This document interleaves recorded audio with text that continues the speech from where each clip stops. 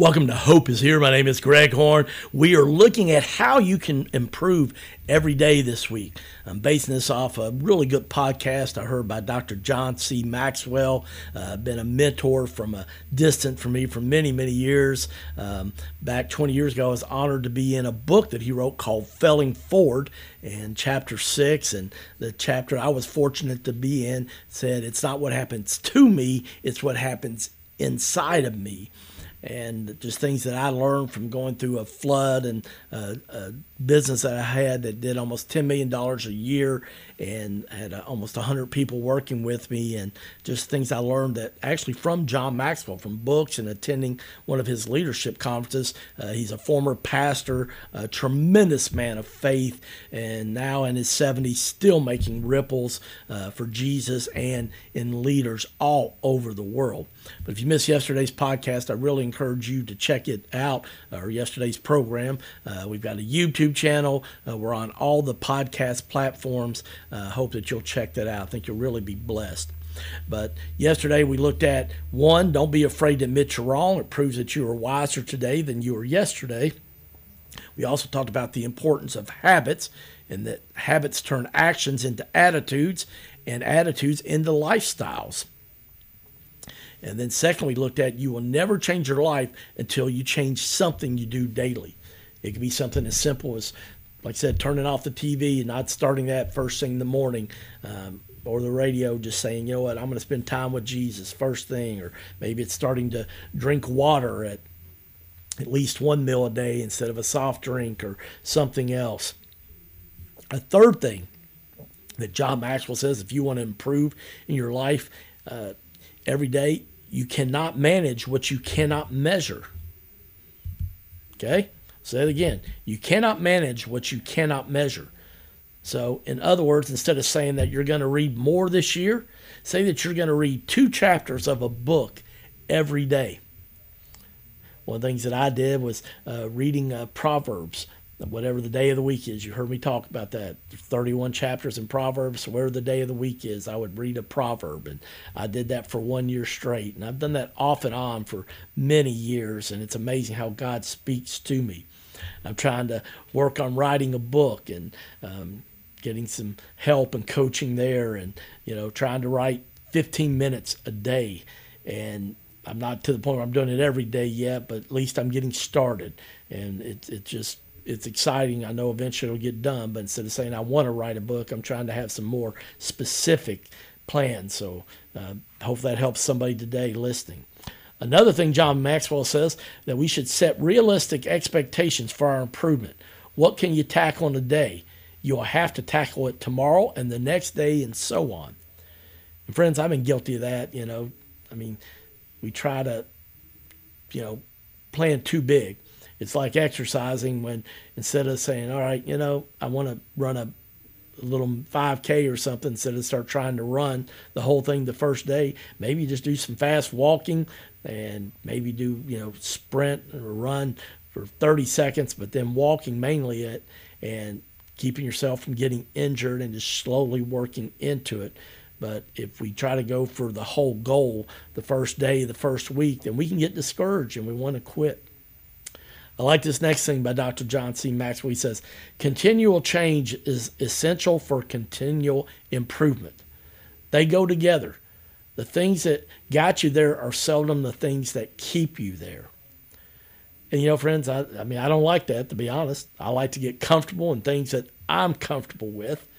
And yet, that's one of the things I realize that change is just a part of life. I mean, I think back to music when I grew up and I got done working at the grocery store and I got a paycheck each week from Foodtown supermarkets. And as a 16 year old, and I, I would buy uh, an album. And then, of course, it went to cassettes. And then it went to CDs. of course, now people are, are streaming. uh, you know, it's just a life change. Music's still available, but it's just not the same way. And so we have to either change or we die. Now that doesn't mean we change the gospel. We don't change John 3:16. I mean, that's still God's word is still true. For God so loved the world that he gave his one and only son that whoever believes in him shall not perish but have everlasting life. So we don't change the message, but we may need to change the methods. And we have to do that sometimes in church, but we also have to do it in our own life. We talked about this a, a, little bit more on Monday's program, but you know, motivation gets you started, habits keep you going. Mm, that's so good. Motivation gets you started, but habits keep you going. I want to encourage you to maybe go back and listen to yesterday's program if you missed it. We just talk about some ways to start habits and uh, don't over try to promise and things, but you got to measure it and start out small. Remember the, the, the old saying, the old story of the tortoise and the hare, and that obviously the hare tore off the rabbit, you know, took off, but turtle just kept plodding along, and eventually he won the race. And I'm I'm learning to do that as I get older and hopefully more mature, right? Another thing John Maxwell says, we can overestimate what we can do in a month and underestimate what we can do in a year. We are infatuated with big and fast. Well, that basically just kind of summarizes what I just shared there with you with the tortoise and the hare. And yet, friends, it is. And it's just like, you know, if you want to save money, just saying, hey, you know, maybe it's $10 a week, $20 a week. And, you know, maybe it's you're like, I'm going to take my lunch to work at least three days a week and um, just saving that money. And it's amazing, friends. Just a little bit of time, it adds up we do things like that. Or maybe it's with exercise and just saying, on my 15 minute break at work. If the weather's too cold, uh, see if you can walk around your office complex.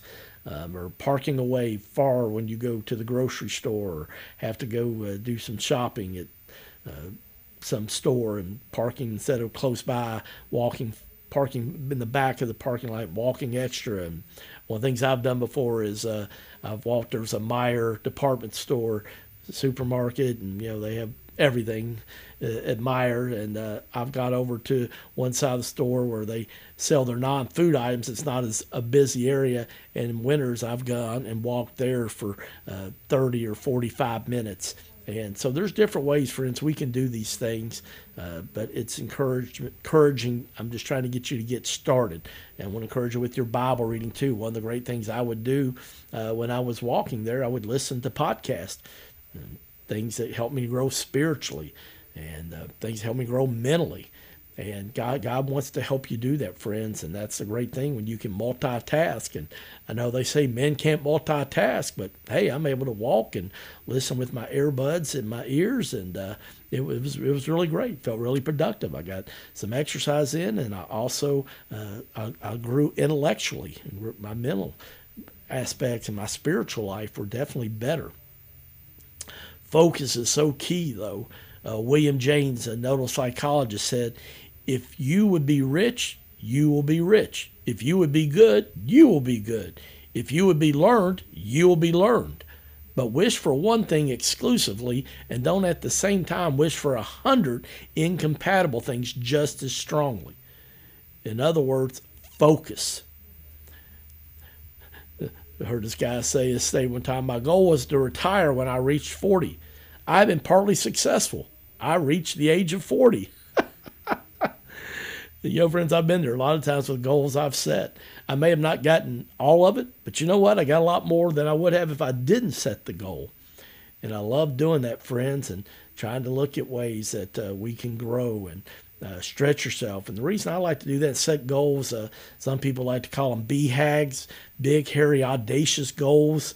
And the thing I like about them when you do that is you do what you feel like you can do if you're really disciplined and focused, but you also maybe add another 15, 20% to that and say, you know, this could happen with God's help. If I ask God to help me, if I have a plan and I'm disciplined, maybe I might even be able to do a little bit more. So I'm going to put this about maybe 15, 20% at most more than uh, I could do with a, great effort and just let God do what only God can do. And it's okay, friends, to have a have a goal and a plan. And you know, the Bible says in Proverbs, "Without vision, the people shall perish." So I want to encourage you uh, to. It's okay to plan and ask God to help bless those plans. But understand, you know, we have to go back and make modifications at time too, and that's okay. And that's one reason I'm doing this, even though I know we're almost to March. Um, a lot of people have set New Year's goals, resolutions, whatever you want to call them. But you know, sometimes life happens and you have to go back and reevaluate. Sometimes it's, well, I wasn't as disciplined I should have, but then sometimes major life events happen, like a physical injury or a family member that has an illness that you have to help out, or your job situation changes.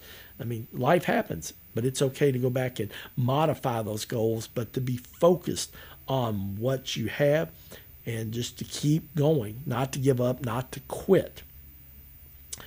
Another thing that's so important, John Maxwell says, is spend 80% of your time working on your strengths or skills. He talks about, and this is for people in business and things, but people don't pay for average. Stay where your gifts and abilities are.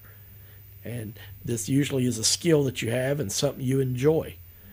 But two weak areas, Maxwell says, that will hurt you are lack of self discipline and a bad attitude. And you know, friends, that's one of the things that I've had to learn is that you know sometimes we don't realize that we can get into having what uh, is called stinking thinking. you know, we start getting negative and critical, and you know, there's always going to be obstacles, friends. Jesus told us, in this world you will have trouble. You will have trials and tribulations. But take heart, I have overcome the world, and in me you will have peace, Jesus said. And so, having that kind of attitude and yet having the self discipline to make sure you're doing the things that you know God's called you to do, the dreams that He has put in your heart. Psalm 37 4 says, Delight yourself in the Lord, and you shall have the desires of your heart. The challenge, though, friends, is that a lot of times we don't delight ourselves in the Lord. We just tell the Lord what the desires of our heart are. And I've learned sometimes my desires are not His desires. But when, when I delight myself in Him and ask the Holy Spirit to guide and direct my steps, it's amazing how my desires can become God's desires. And maybe that's why your so called goals or resolutions that you set for yourself this year to grow and improve an area, maybe that's why they're they're not happening. And so I want to encourage you today, maybe just take some time and pray and ask God, are these goals and desires that I have, are they ones that line up with your desire for my one and only life? And so just remember, friends, it's important to have a plan, but then you've got to have self discipline and have a good attitude or if you don't, the lack of self discipline and the bad attitude will literally sabotage you, and you'll never uh, feel like you're improving. And the end of this year will show up, and you'll just think, you know what? I'm in the same old, same old. And yet, friends, I believe that God wants to help us not stay in those ruts. It wants us to help us move forward. And I guess the final thing I want to ask you today as we wrap up this program is what you're doing today going to get you closer to your goal tomorrow? I'll ask you that one more time. Is what you're doing today going to get you closer to your goal tomorrow?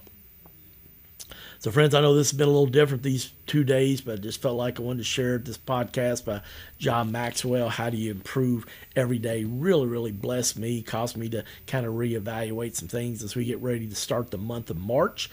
I want to encourage you maybe to set some spiritual goals, uh, relational goals, some uh, financial goals, family, you know, social goals.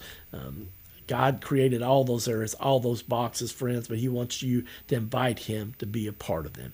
You've been blessed by this program. I hope you'll share it with somebody else. We're out of time. I look forward to seeing you tomorrow. My name's Greg Horn, and this is Hope is Here.